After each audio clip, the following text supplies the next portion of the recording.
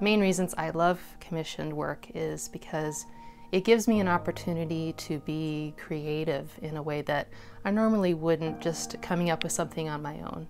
I get new subject matter, I get unique colors that I don't normally work with, and sometimes I get to use a new technique that I've been wanting to use because that piece requires it to deliver what you ask. And the final reason I like commissions is because I get a challenge. I get to match a piece of artwork to your unique personality and style, and I really enjoy that process. So how does the commission process work? Well, first of all, you may have many ideas of what you want to see on canvas.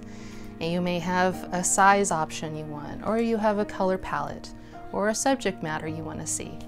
So you write all those things down and you send that information to me with your phone number. And so once I get that information, I write some questions down that I want to ask you, and I'll give you a call and we'll hash out the details together. I'll draw out information from you that I need to know in order to match the piece of artwork with what you need. So after we've talked about it, then I draw up a contract and I send you that contract. So once you've signed that contract and paid half the amount up front, I get started on the commission process. So what I do next is I create a concept drawing based on what we talked about over that phone call. So in the concept drawing, I put the subject matter we agreed on, as well as some color palette options for you to decide on.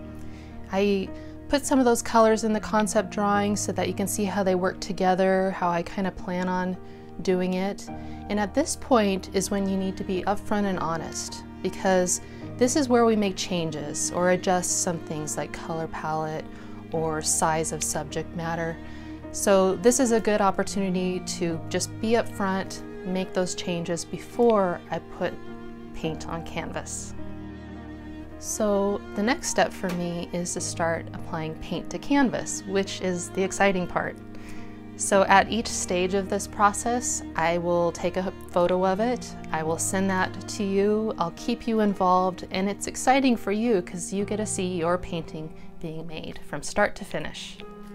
So after that's done, that final stage, then I send you that final invoice for the last payment, and once I receive that, I safely ship your painting to you.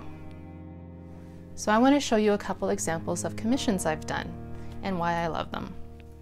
This first one is arbutus, and I did this um, with a couple of requirements from the client.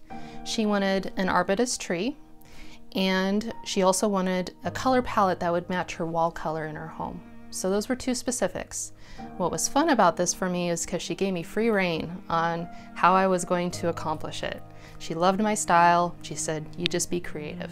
So that was a lot of fun for me. Doesn't happen very often. And the other thing that was special about this is that I put in a little frog at the bottom as a little gift for her because I know her, I know she loves frogs, so that was my little gift to her. So all in all, I really enjoyed this painting and the client loved it.